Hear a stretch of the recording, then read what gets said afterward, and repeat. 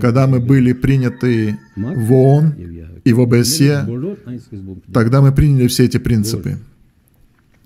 Принципы неизменности границ, принцип целостности территорий, запрещение применения силы для изменения границ. Это то, что приняли и мы, Азербайджан.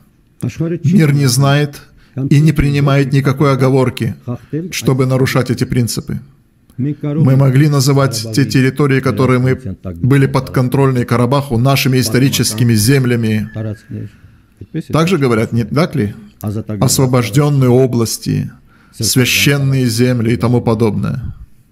Но таких понятий в международном праве нет и не будет. Это иллюзии. И наши власти никогда не использовали эти термины. Ни в мое время, ни во время Кучеряна или Сарксяна. Такие термины никогда не использовались в международных инстанциях. Если бы они использовались, нас бы вообще объявили страной-изгоем.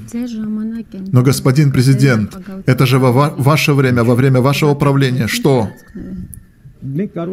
Освободили эти территории, области.